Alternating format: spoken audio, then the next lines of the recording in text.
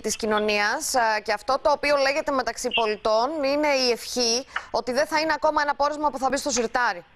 Κοιτάξτε, πραγματικά νιώθω στενάχωρα όταν ακούω τέτοιες προκαταβολικές δηλώσεις.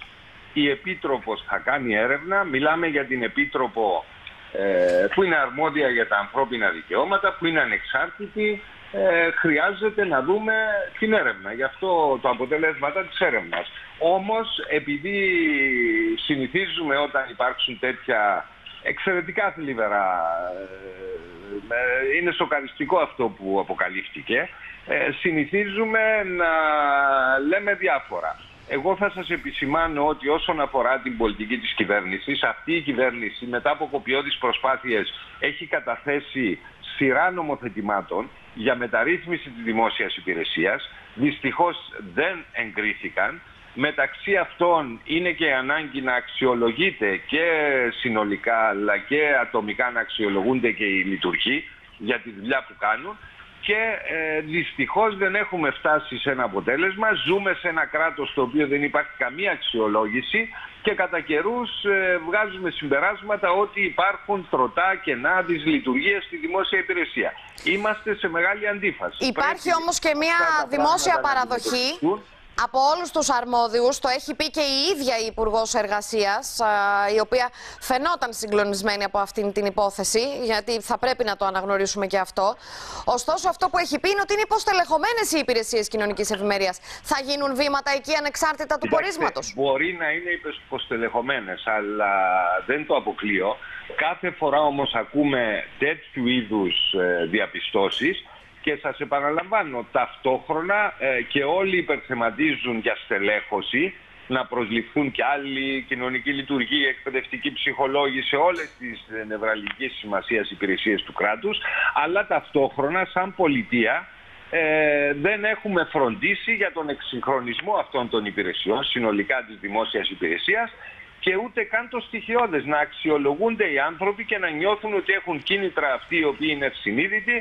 Ε, νομίζω ότι θα μειωθούν ε, τα φαινόμενα του να υπάρχουν εκθέσεις να υπάρχει γνώση για ένα περιστατικό για χρόνια και να μην γίνεται καμία δράση. Ναι, και δεν είναι το μόνο. Έχουμε, είναι πέντε περιστατικά σε 1,5 χρόνο.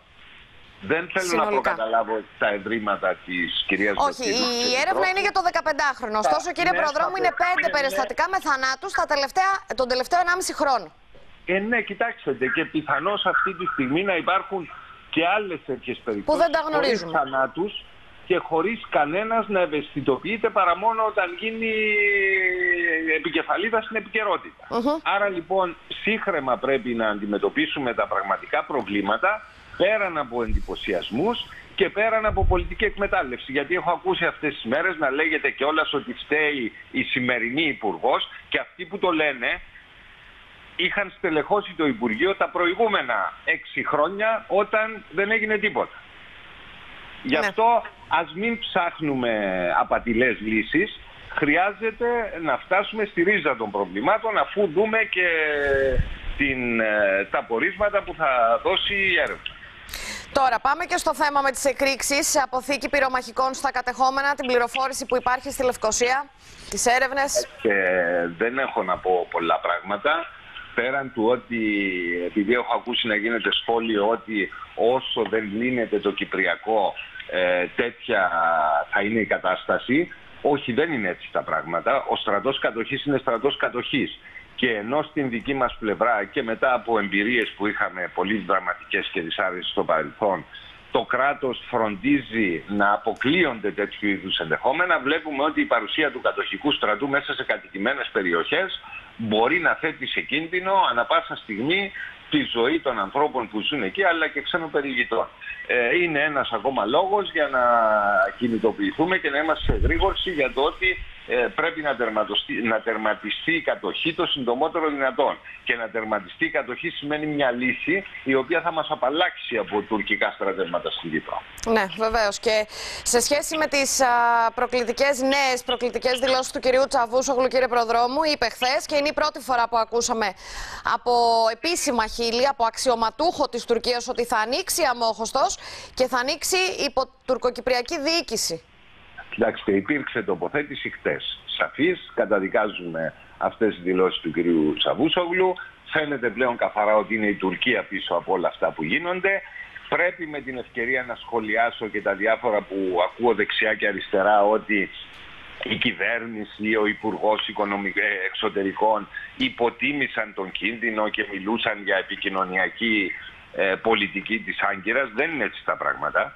Η κυβέρνηση αυτή, ο Υπουργός Εξωτερικών, ε, σε συνεργασία με τον Πρόεδρο, ο οποίος Πρόεδρος έστειλε επιστολή, έκανε διάβημα στον Γενικό Γραμματέα.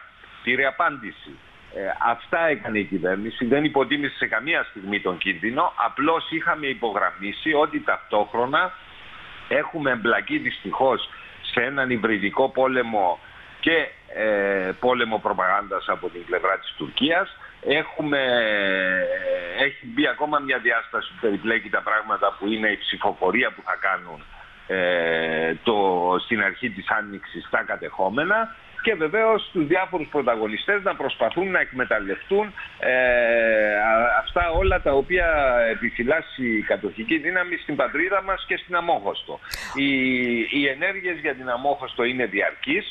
Σε κάθε ευκαιρία ο πρόεδρος της Δημοκρατίας έχει προτάξει το ζήτημα της Αμοχώστου ακόμα και ξεχωριστά από την συνολική λύση του Κυπριακού γιατί έχουμε στα χέρια και αποφάσεις του Συμβουλίου Ασφαλείας. Και βεβαίως τώρα όπως ξέρετε έχει εξαγγελθεί ότι μελετάτε, εξετάζεται το ενδεχόμενο ε, μιας νέας προσφυγής στο Συμβούλιο Ασφαλείας. Δεν μπορώ να το προεξοφλήσω. Ε, υπάρχουν οι σύμβουλοι της κυβέρνησης, διεθνολόγοι, ε, διεθνείς ξένοι διεθνολόγοι, ε, θα έχει ο πρόεδρος όλη την ε, ανάλυση μπροστά του και θα ληφθούν οι πολιτικές αποφάσεις. Θα πρέπει όμως να απαντήσετε στον κόσμο τι είναι αυτό που μπορεί να σας κρατήσει πίσω; Δηλαδή είναι και η Γενική Συνέλευση τώρα όπου να είναι τις επόμενες ναι, μέρες. Ναι βεβαίως και το επόμενο βήμα θα είναι συνάντηση του Προέδρου με τον Γενικό Γραμματέα. Ε, τι είναι αυτό που μπορεί να μας κρατήσει πίσω; Τα ψηφίσματα από μόνα τους δεν είναι ισχυρά αν δεν γίνουν κινήσεις και αν προσφύγουμε στο Συμβούλιο Ασφαλείας, μία απόφαση θα πάρουμε. Ε, αυτά να τα γνωρίζουμε. Πρέπει με ρεαλισμό να συζητάμε το τι συμβαίνει. Ε, ξέρουμε που είμαστε, ξέρουμε ποια είναι τα δεδομένα και βεβαίως με διπλωματικά και πολιτικά μέσα είναι που παλεύουμε, αντιπαλεύουμε την κατοχή. Έστειλε στο μεταξύ επιστολή και η κυρία Λούτ για σοβαρά βήματα προόδου στον πρόεδρο της Δημοκρατίας, στα επόμενα βήματα στο Κυπριακό. Τι γίνεται εδώ; Ε, η κυρία Λούτ ε, ευχαριστεί τον πρόεδρο για την δέσμευσή του, για την θετική ε, για τον θετικό τρόπο με τον οποίο ε, εμπλέκεται στην προσπάθεια για να φτάσουμε σε όρους αναφοράς και επανέναρξης των διαπραγματεύσεων. Υπογραμμίζει ότι έχουν γίνει σοβαρά βήματα πρόοδου, αυτό που λέγαμε τις πρώτες δύο μέρες, όπου προσπάθησαν να χτίσουν πάνω στην καταρχήν συνεννόηση της 9ης Αυγούστου. Βεβαίως μετά τα πράγματα δυσκόλεψαν με την παρεμβολή της Άγκυρας. Σε πάση περιπτώσει η κυρία Λούτ το σημαντικό είναι ότι επιβεβαιώνει ότι η προσπάθεια θα συνεχιστεί και μιλά μάλιστα ε, για την επιθυμία της να συναντήσει τον πρόεδρο του συνομότερο. Μια συνάντηση που θα γίνει, αντιλαμβανόμαστε, στην ε, Νέα Υόρκη. Κοιτάξτε, η κυρία Λούτ μιλάει για τις διαβουλεύσεις ε, με βάση τις οδηγίες που έχει για τους όρους αναφοράς. Η συνάντηση του Προέδρου με τον Γενικό Γραμματέα είναι γενικότερη. Οπωσδήποτε, ενδεχομένως θα είναι παρούσα η κυρία Λούτ θα δούμε την συνέχεια.